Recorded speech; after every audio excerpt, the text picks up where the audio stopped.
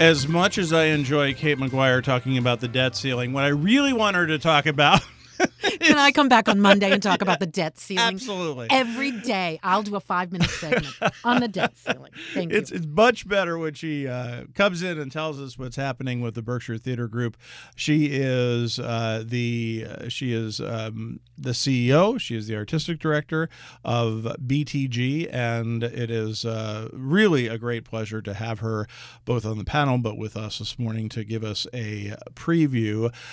Million Dollar Quartet a three time Tony Award nominated Once in a Lifetime musical evening is back by popular demand with some of the same cast as in 2017. Other highlights include The Secret Garden spring version. Is it spring version? Is that it? Or That's version? it. Spring Okay. version. A uh, special encore performance of the Beloved musical that is uh, beautiful and spirited as the original. On Cedar Street, a world premiere musical about second chances in life and love. Uh, we have Rebecca Brooksher and David Adkins uh, in the cast of Photograph 51, which Kate mentioned earlier, uh, which is a portrait of the race to discover the mysteries of the DNA double helix. The Smile of Her, a world premiere play written and performed by Academy, Emmy, and Golden Globe Award winner Christine Lahti. I can't wait to see that. Uh, So cool. And much, much more. Kate, how are you? I'm well, thank you. I'm still here. My eyes are a little crossed from talking about the debt ceiling. I tried to brush up, but it was the only art. Those were the only articles I did not read. However, I do manage the budget at my organization. I went to I went to um, bed last night and I was, I was sitting. I was going, man, I should have told Kate to bring Eric. Oh, that would have been much more spirited. You could have hide. You could have Yes. uh, tag teamed. Uh, anyway, um, well, uh, it's a great season. It's a wonderful season. It does it. Does it feel like you're slowly getting back to to whatever normal was? um, if the world would cooperate and we could look out and see normal landscape, but we never. We were talking about this earlier. We never stopped performing. We presented that Godspell um, under a tent in 2020 in August. And then we did some concerts out on the lawn in Stockbridge. And then we did a beautiful production of Holiday Memories in 13 degree weather outdoors in Stockbridge. And we just kept going. And so, you know, when it all began, I remember saying, if I have to get out there and juggle, then I'm going to juggle. and everyone said, let's put on a show instead, Kate. Um, so the staff and the board, our community has been used to us and we have kept going. And so does it feel like back to normal? It does in the sense that so many people are coming into our doors. What we particularly missed through all of this was working with our kids.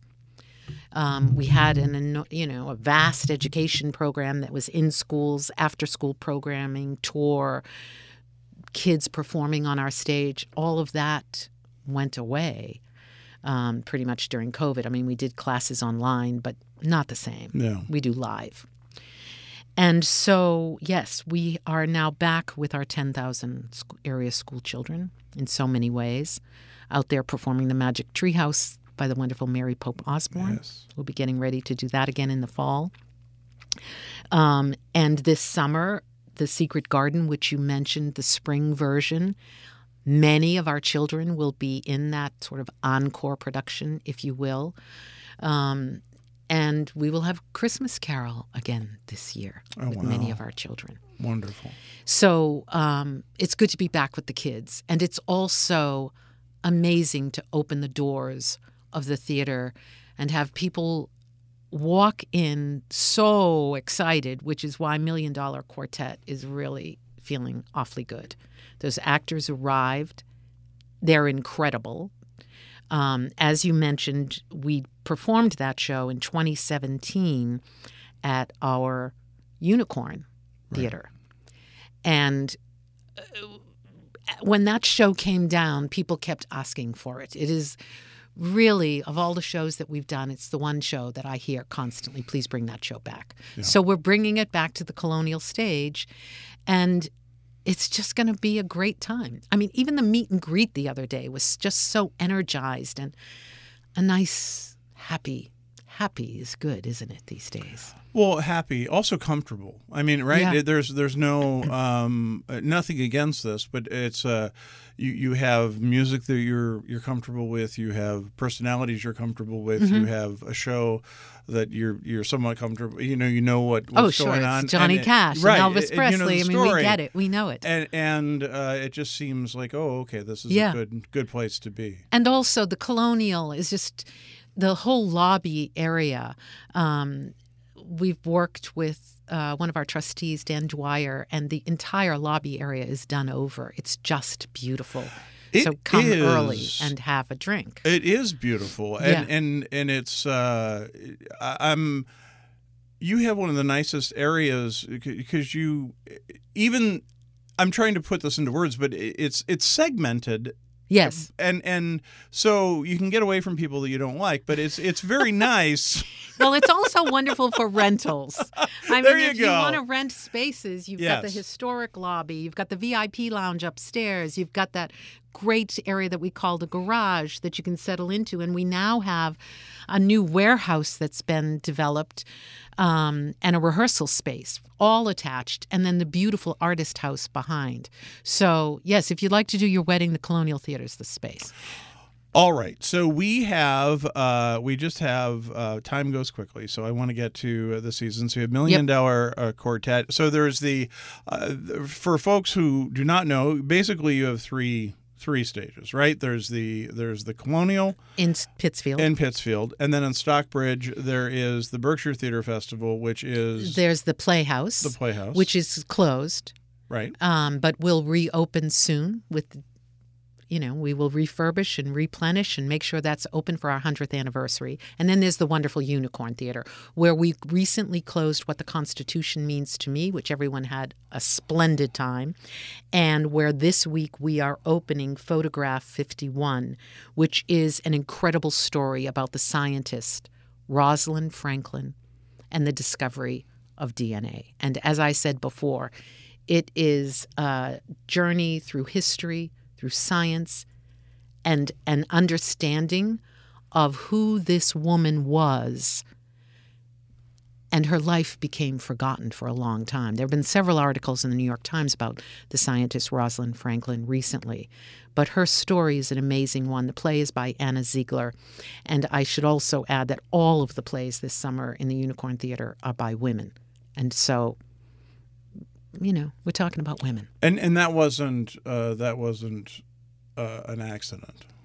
Um, you know, I got to the final piece on Cedar Street, which is this incredible team of women that are the creators behind this new musical. And all of a sudden I went, Whoa, they're all by women. There must be something on my mind these days. Like, what's going on with women in the world? And so, yes, each play looks at women's issues, but in very interesting, wonderful, sometimes difficult, sometimes provocative, and sometimes romantic. They're all worth seeing.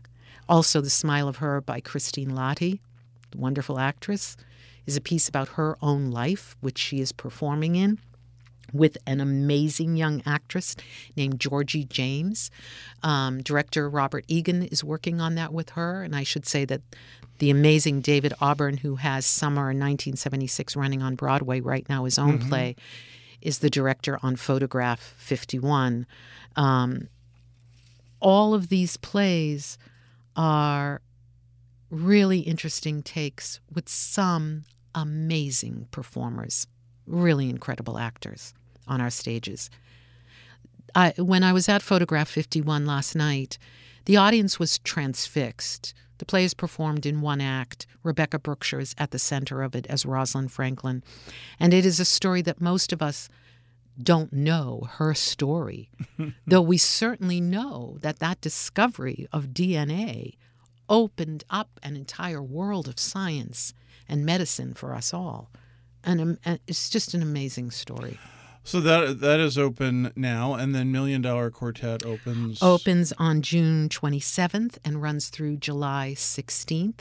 Christine Lahti arrives in town and starts rehearsal for The Smile of Her, which opens July 12th through July 29th on Cedar Street, which is a world premiere musical, book by Emily Mann, music by the late Lucy Simon, and Carmel Dean has joined the team, Susan Birkenhead and Susan Schulman. These are top notch, award winning talent talented artists who are assembling to put this beautiful romantic piece together for us.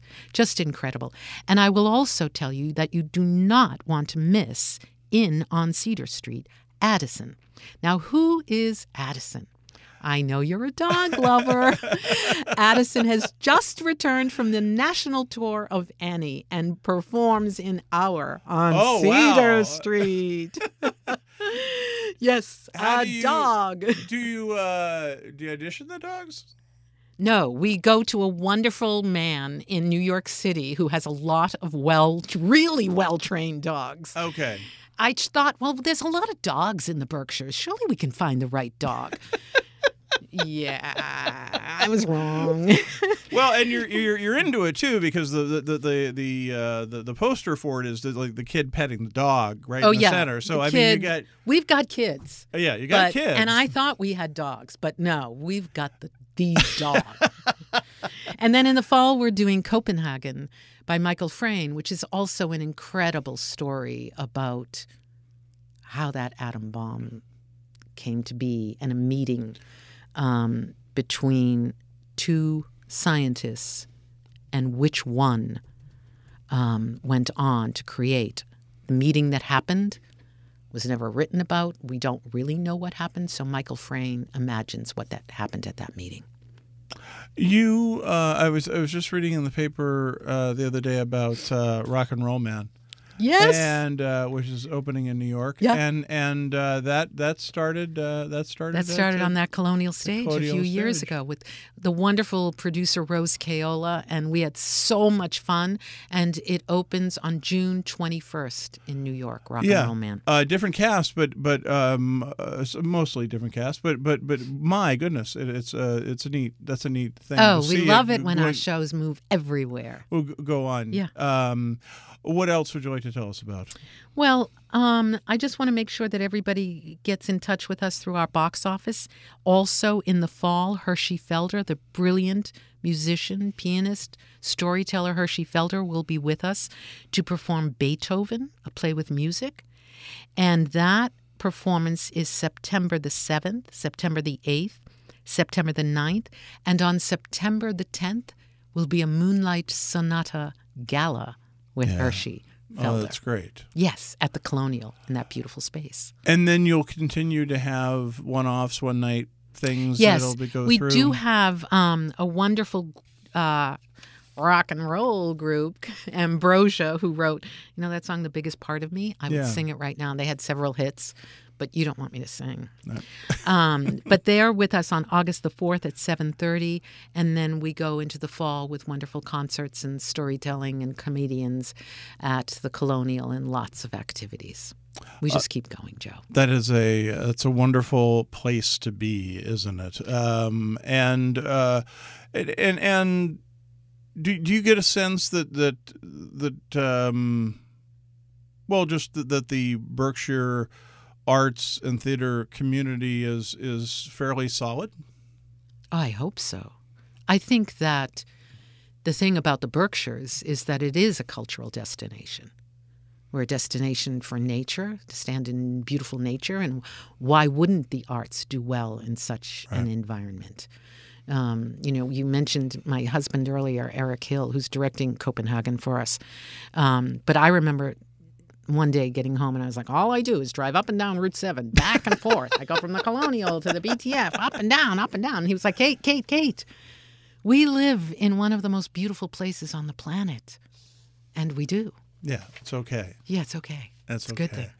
Well, if you want to find out more about any of the cool things we talked about, and there are many, many cool things, including Photograph 51, which is now open and uh, up for you to see, you can go to their website. It's berkshiretheatergroup.org, berkshiretheatergroup.org, and it is just one of many, many productions coming up this summer and into the fall.